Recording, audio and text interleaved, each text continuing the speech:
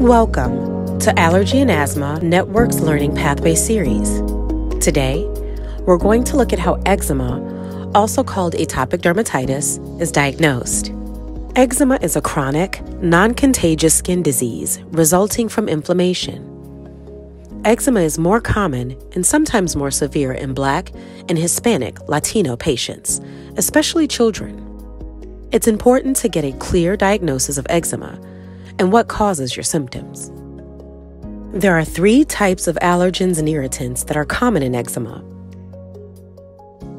Environmental allergens such as pollen, mold, dust mites, and pet dander. Household or personal products can cause contact dermatitis, a type of eczema.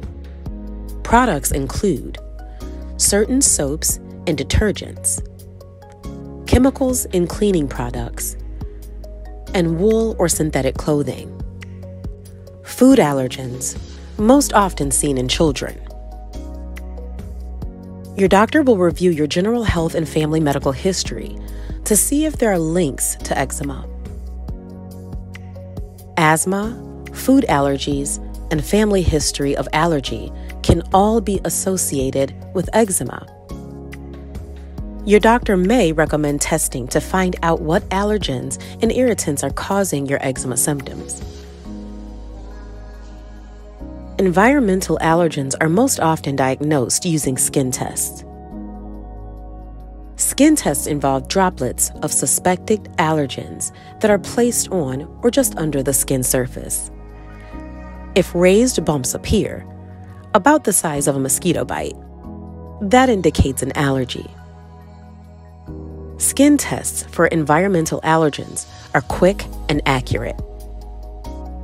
They are usually conducted by an allergist.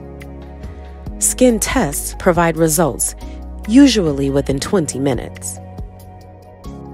Another type of test for allergens is a blood test.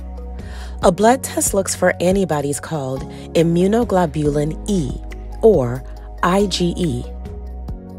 These are antibodies produced by the immune system that reacts to specific allergens. Lab results for blood tests can take several days. Talk with your healthcare provider about the test results. Eczema typically results in very high IgE levels, and that can affect the test results. Another type of test is a patch test. Patch tests are commonly used to test for contact dermatitis. The doctor applies adhesive strips containing potential allergens onto your back. After two to three days, the patches are removed by the doctor and the skin is evaluated for reactions. If eczema symptoms appear, then it's a confirmation of an allergy. If foods are triggering eczema, then you may undergo food allergy testing, such as a skin test or blood test.